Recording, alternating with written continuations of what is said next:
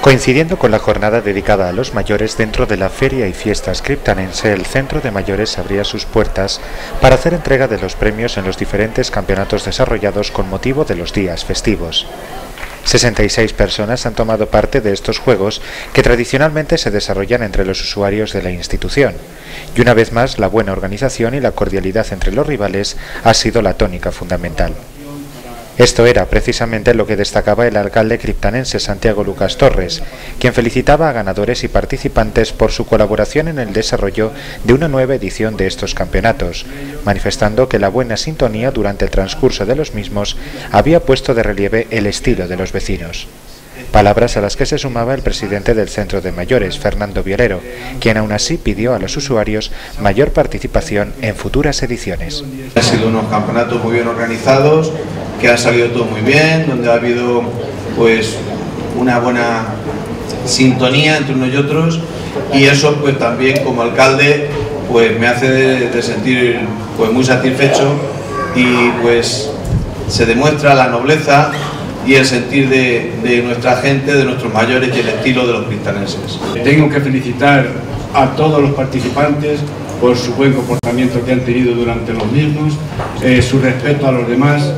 eh, han guardado un orden, se han portado de maravilla, por lo que la dirección y este consejo se sienten orgullosos de vosotros.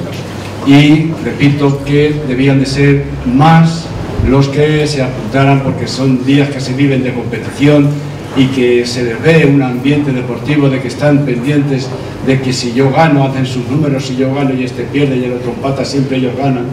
Entonces, eh, para clasificarse. En este sentido, Lucas Torres afirmó que dada la gran actividad del colectivo de mayores, el consistorio iba a seguir apostando por la puesta en marcha de actividades y servicios con los que cubrir la demanda de los usuarios.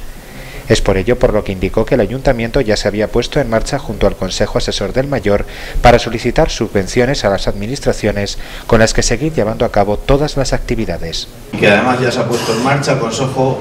Asesor del Mayor para que en ciertas cosas que podrían peligrar en el centro de mayores,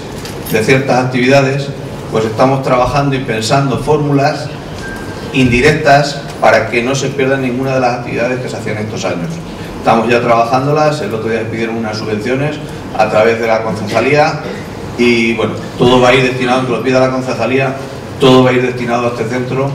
y espero que, por así ya nos lo han indicado, que seguramente van a estar. Este año los premios que se han concedido a los ganadores de los campeonatos de Chinchorro, Tute, Cinquillo, Villar, Petanca y Brisca han consistido en una cesta de frutas para los primeros clasificados y en un lote de vinos y aceite para los segundos y terceros.